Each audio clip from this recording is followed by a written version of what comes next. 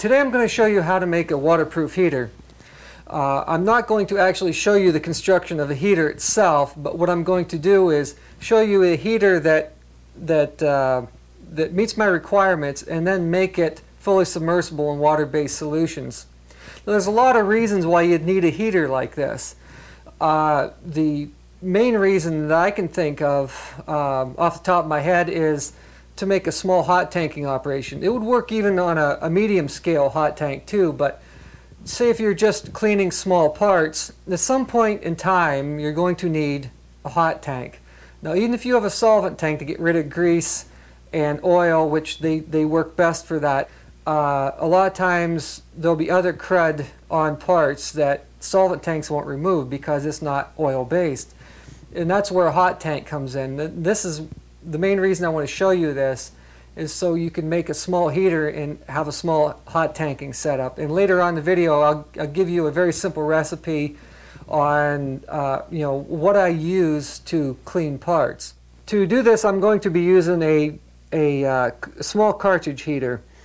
Uh, this is not waterproof. This is for dry use only. Unfortunately, uh, I mean, these are very good heaters, but unfortunately, they're not waterproof. In fact, this is magnesium oxide. So if you would put this in a, a bucket of acid solution or a caustic solution, uh, or any just just plain water, what would happen is it would go down inside there and short this out and ruin the entire heater. So these are readily available. They're very easy to get, and they're very powerful too. This is a thousand watt unit. It's good up to um, 1400 degrees. Of course, it won't be getting to that temperature because it'll be going inside a water-based solution. To seal off this cartridge heater, what I'm going to use is a piece of heat shrink tubing. Now this, is, this isn't just any sort of heat shrink tubing. This is called moisture seal. And what it has is a layer of, it's like a hot glue type of sealant inside. Whenever you shrink this on with heat, uh, that melts and completely goes around the part you're trying to seal up. And I also have uh, a boot here, an end cap. It's completely closed on the end. This is also this also has a moisture seal on it too. So when you heat it up, it's going to seal off the bottom end of this. Now this is going to go on the top here. You want this exposed here so it's so it doesn't overheat inside the uh, water. And I'm going to seal off about that much wire. Just enough so no acid has any chance of getting running down this wire and going into the top of this heater. It's a real simple operation here. But if you tried to find one of these commercially, uh, you can find the aquarium heaters and they just don't have the wattage and they don't go up to the temperatures you need. Like if you're anodizing and sealing dye, uh, you know, you need to go up around 200 degrees Fahrenheit to seal dye. And you're not going to find an aquarium heater, at least I hope, that can go up to 200 degrees. So let's go ahead and get this measured up and find out what length we need uh, and start sealing this off. Okay, first off, we're going to mark this. Nothing exact about this. It's just a rough measurement. And um, let's see, how do we want to do this? Put it there so you can see it. And I'm going to leave it about, I'm only going to have this covering about a half inch at the top, but this stuff tends to shrink in length also a little bit. So I'm going to leave a little bit of margin uh, in case it shrinks on here, I can trim it off afterward. That's no big deal. It's real easy to trim. And bring this up here. Try to hang on to that. Bring it a couple inches above that junction there. And then cut this.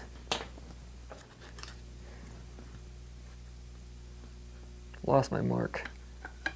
Okay, that's good. Now, uh, now what I need to do is clean this off first of all.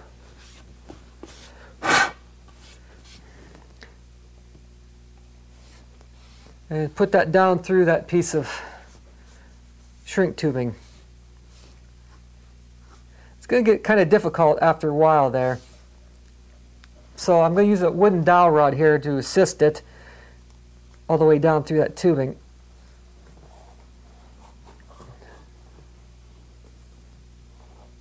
There, it's out the other end. So now what I'm going to do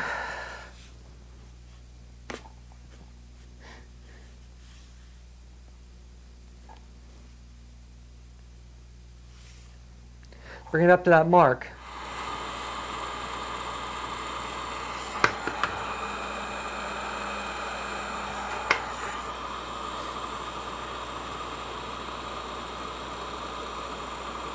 You see how it's starting to shrink already. And as it does that, it'll start squeezing that adhesive out onto the metal.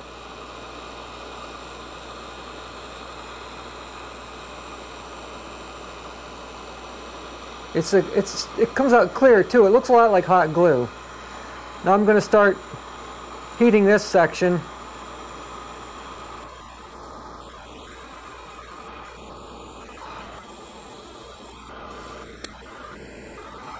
This stuff's good until about 300 degrees, but you don't want to um,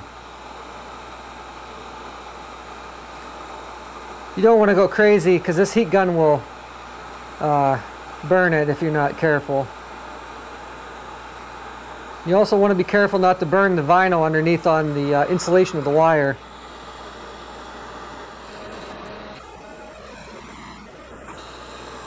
Now that should about do it.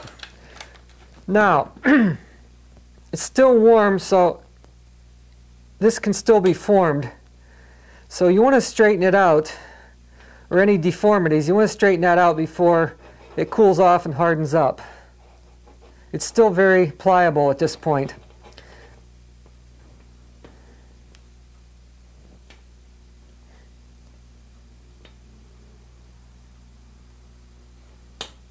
At least it's pliable enough. Now I'm going to take another measurement here from the bottom. Now this cap will take up some space too, so I'm going to take another measurement, 14 inches. And uh, that's good.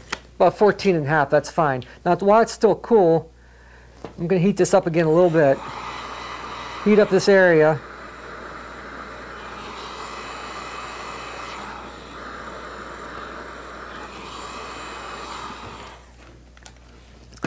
And I'm going to bend this around, like so. Just like that. Don't go, don't go crazy and you know, grab the top and just do a sharp corner like that. Just a, a general radius is fine. Now, once this uh, cools down and hardens up, this will serve as a hook for the top of your bucket.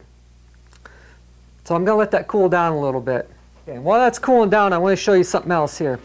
Now this, this uh, is a very good heater, but it needs to have a controller on it. Uh, you can't just plug it in like that and let it go because it will boil the water. So you need a controller, and here's a controller that I recommended. I, I have a couple of these now, and, and I really like these things. Now if you get on Amazon or eBay, you'll find a lot of temperature controllers for refrigeration or heating.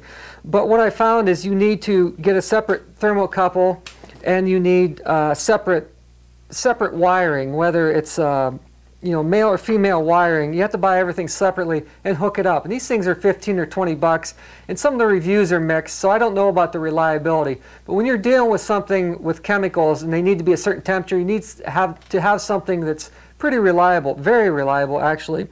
And this unit here is by Johnson Controls, and they've been at this game a long time. So I recommend getting this. They give you a thermocouple. They give you the power plug for the unit. They also give you the, um, the power takeoff, if you want to call it that, a female plug that will the heater will plug into. And the, the controller here is very simple. I mean, it comes with a manual, but it's a simple setup. They have a simple setup, and then they have uh, more of a in-depth setup because it has a lot of features that you can use on it, like uh, differentials and delays, things of that nature and you can set it up for refrigeration or heating. And I have it set up, this one here for one bath I'm using uh, from 105 degrees to 110 degrees Fahrenheit. Very reliable, it never fails, and I highly recommend it. And I think this unit, when I bought it here last year, I think it was between 60 and 70 dollars. Now, I realize that's more expensive, but it's a turnkey unit. You don't have to worry about it and it, you know it's going to be reliable. Uh, between that and this cartridge heater, this cartridge heater runs about $40 or $42 I think from McMaster-Carr. Um, that and the heat shrink tubing, this is not much at all. You're only talking a few dollars for the heat shrink tubing. Um, and this end cap I think was $1.50. So, you know, so you're going to have a nice setup for heating water or whatever. Okay, that's cooled down enough. Before I forget here, I'm going to put this moisture seal cap on this end.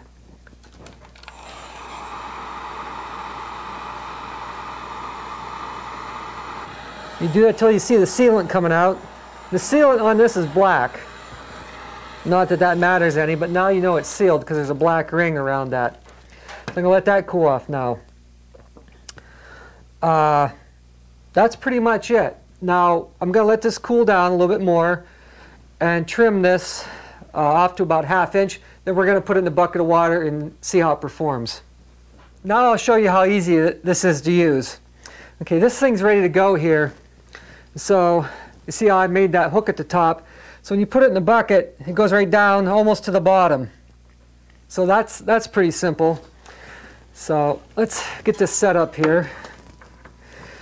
Uh, I'm going to be using the Johnson controller. And now I have to do something with this thermocouple. The thermocouple, you just can't dip it in the water because it's not waterproof either. Uh, so what I typically do is I just tape it to the side of a bucket.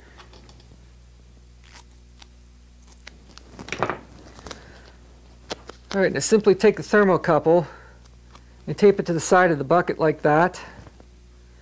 So you see I have the thermocouple taped on there very simply. And up, this is just commonly available uh, bubble wrap insulation. Wrap that around there to uh, help with energy savings. Okay, now what I need to do is plug in this controller. Okay, I got that plugged in. It's going to sit there in setup mode. It's going to uh, tell you what the water temperature is right now or the air temperature depending on where you have the thermocouple. And then it'll switch on. So I'm going to plug this in here. And uh, put the new heater to work. It'll take about a minute for this thing to switch on. It's a little yellow light on here whenever this thing's in power mode. And uh, you'll hear the relay click on.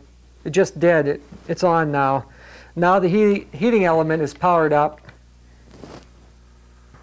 Now the exposed surface there, the sheathing on that uh, heater is actually Inconel, which is like a type of stainless steel on steroids. It's the same sort of material they use in jet engine blades, uh, turbine blades, and it's it keeps high strength at high temperature. It's very resistant to oxidation or chemical attack. So this is something, uh, this is what they use in submersible acid resistant heaters. Only they're much, much more expensive, hundreds of dollars for these things, but they use the same material.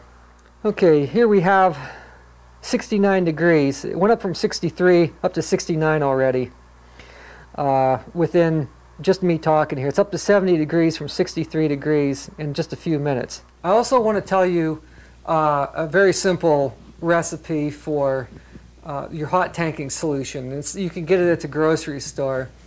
And for a while, I was using Electrasol powder, and then I couldn't find it anymore. So I started using Cascade gel and uh, it works great. Now the Cascade gel that I was using had sodium hydroxide in it, uh, sodium metabisulfite, and I think some bleach and sodium carbonate. Now they probably have changed that by now because they keep changing these things because and, I don't who knows why, but they just keep changing this. But Cascade gel was working very well for me. I was using it in a ratio of two cups of gel to two gallons of water. Now that's a lot of detergent. Actually, you could probably get away with half of that, but that's just what I was using. And then I would heat that up to just below boiling to get a little bit of circulation in the water. And I'll tell you what, that cleaned off everything. Um, you know, mud. It would just take. It would take. You would even turn carbon deposits white and turn them into like a white soft powder. I don't know how or why, but it did.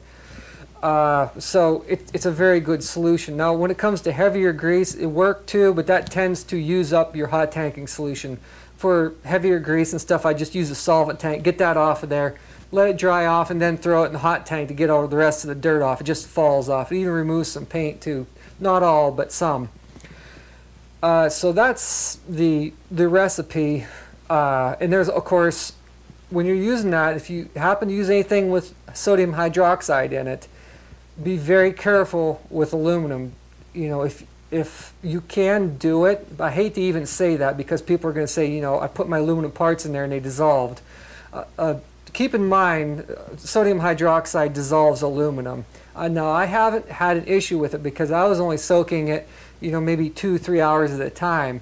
But keep in mind, you have to keep a close watch on it, especially at high temperatures. I don't know how much lye is in Cascade gel. I'm thinking it's not a whole lot. But you know, just keep that in mind. There are aluminum safe hot tanking solutions out there, like Silver Seal is what I use. Uh, if you're using Cascade, just just be very careful to keep an eye on your parts because it will eat them. Uh, which is if you know if you have customers' parts in there, they don't like it when you tell them you dissolved their parts. So just keep that in mind. Uh, try Silver Seal. There's different. I think mm, I can't think of it no, oakite or something like that it's called too. I'm not real familiar with all the hot tanking solutions. So anyway, that's just one. Try it out.